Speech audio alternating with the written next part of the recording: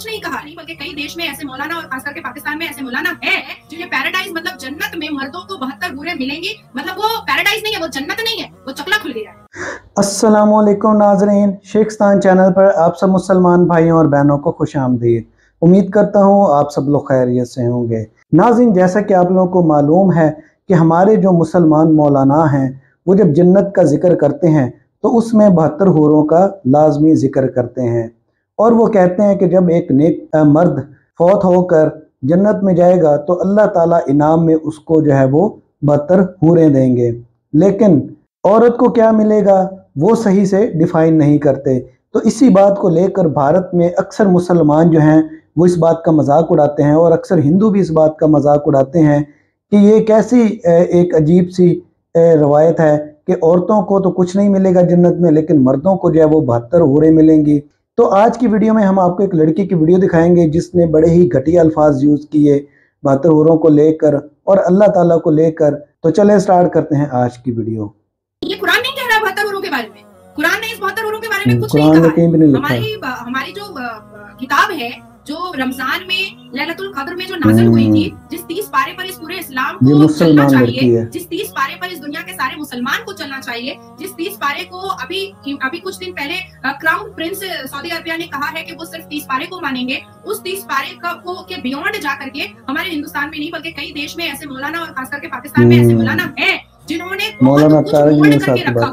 हमारा कुरान बहत्तर गुरु का ज़िक्र नहीं कर रहा है पर हदियत जो है ना वो बहत्तर गुरु का ज़िक्र करता है और कहता पैराडाइज मतलब जन्नत में मर्दों को बहत्तर बुरे मिलेंगे जो वो वर्जिन होंगी। हम्म। और जिसको आप इटरनल और फ़िज़िकल सेटिस्फेक्शन के लिए रख सकते हैं। हम्म। और जो बीवियाँ होंगी वो उस बहत्तर हुरों की सरदार होंगी। मतलब इटरनल और फ़िज़िकल सेटिस्फेक्शन कराने के लिए हम अपने शोहर के पास एक एक हूर करके भेजेंगे मतलब वो पैराडाइज नहीं है वो जन्नत नहीं है वो चकला वो प्रोस्टिट्यूट एरिया खुल क्योंकि जन्नत को जिस तरीके हमने डिस्क्राइब कुरान में पढ़ा हमने जो कुरान में सीखा हमारे बड़े बुज़ुर्गों से जो हमने सीखा कि जन्नत क्या होता है जन्नत के बारे में सुन करके बच्चे से बच्चा झूठ बोलना बंद कर देता है हम्म, गलतियाँ करना बंद कर देता है कि हम मरेंगे तो हमको जहन्नुम के आग में जलाया जाएगा अगर हम झूठ कहेंगे हम गलत करेंगे किसी के दिल को दुखाएँगे किसी का माल दौलत लूटेंगे तो हमको जहन्नुम में आग में जलाया जाएगा और अगर हम ऐसा नहीं करेंगे तो हमको जन्नत भेजा जाएगा। हम्म। लेकिन ये मौलवी मुल्लाओं ने जन्नत को चकला बना दिया है प्रोस्टिट्यूट का एरिया मतलब मेरा शोहर मरेगा और मैं मर जाऊँगी तो मैं उस बहत्तर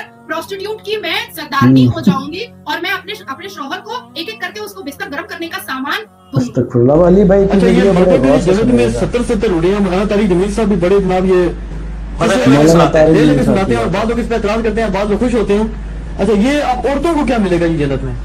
देखिए जी पहली बात यह कि कुरान और सुन्नत इस मसले में खामोश है। हम्म। औरतों के मसले में ये औरतें भी आज़ाद कर कहती है हमारे लिए कुछ नहीं? जी जी।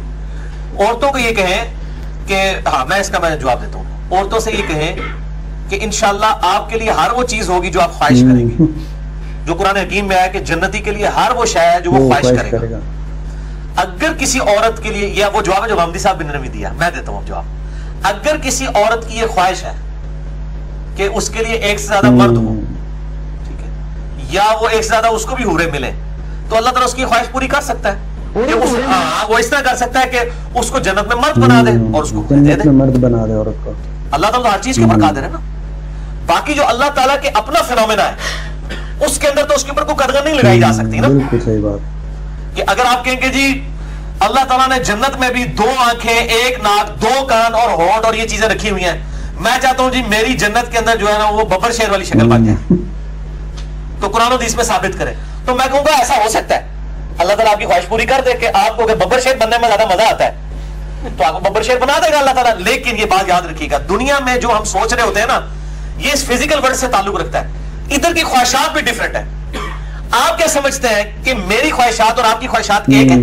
नहीं मैं अक्सर अपनी बीवी से कहता हूँ वो मुझे कहती है जी आप पब्लिक फिगर बन गए हैं औरतें भी आपसे रब्ता करती हैं। ये वो मैं मैं औरतों से जिस बदतमीजी से बात करता हूँ बस एक बार ही फ़ोन आता है। और मैं तो उस्मान ड्री लाइए पाई तू सुने अगर फ़ोन में। तो मैंने कहा यार मेरा ये पैशन नहीं है। मेरा पैशन कुछ और है। एक मैथमेटिशियन है उसका उसका पैशन मैथमेटिक्स है।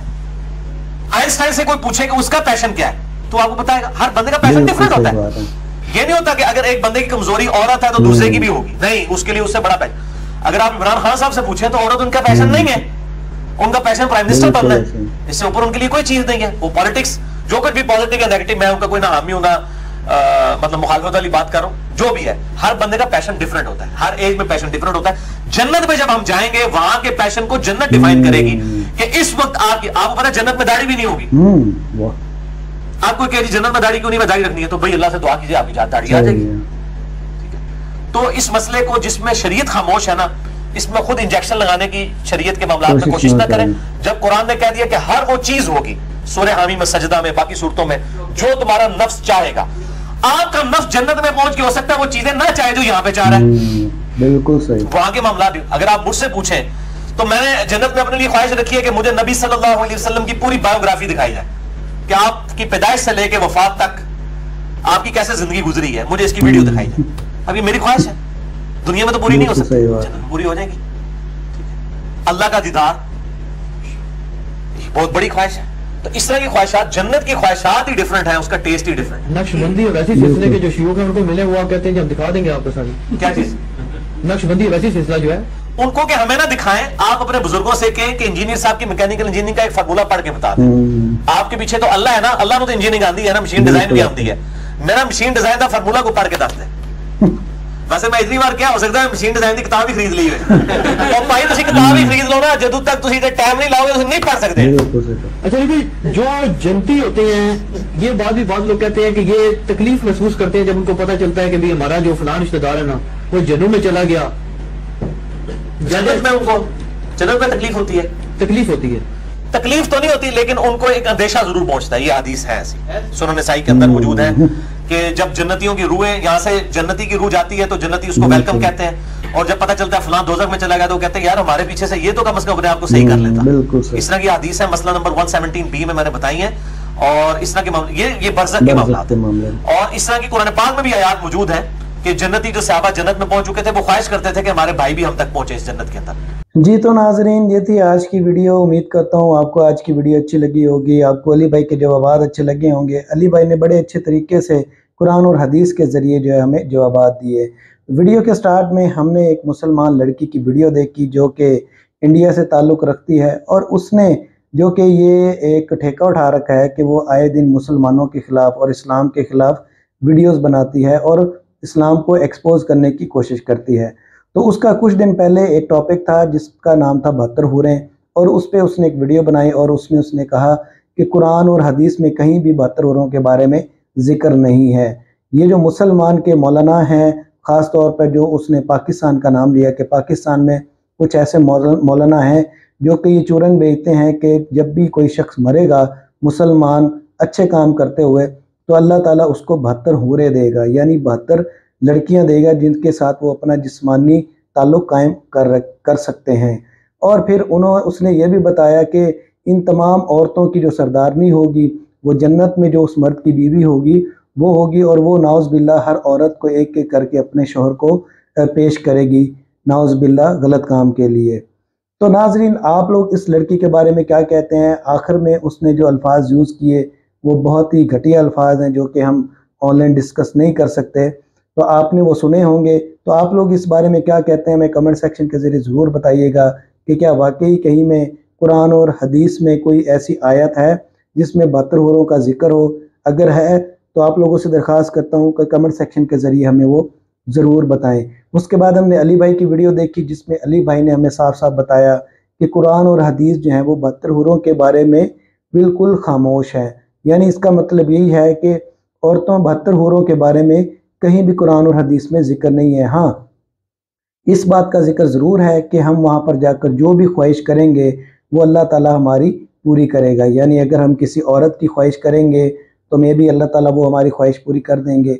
अगर हम किसी और चीज़ की ख्वाहिश करेंगे, खाने की ख्वाहिश करेंगे, कुछ पीने की ख्वाहिश करेंगे तो वो भी अल्लाह ताला हमारी, यानी हर किस्म की ख्वाहिश पूरी कर देगा। तो हो सकता है ऐसी ख्वाहिश कोई वहाँ पर करेगा तो उसकी ख्वाहिश पूरी हो जाएगी। तो नाजरीन, आपको वीडियो कैसी लगी हमें कमेंट सेक्शन के ज़रिए ज़रूर बताइए। अगर आपको वीडियो अच्छी लगी तो आप लोगों से दरख्वास्त करता हूँ। इस वीडियो को ज़्यादा से ज़्यादा शेयर करें और इस्लाम को दूसरों तक पहुँचाने में हमारा साथ दें। मिलते हैं अगली वीडियो में, तब तक के लिए अल्लाह हाफिज़।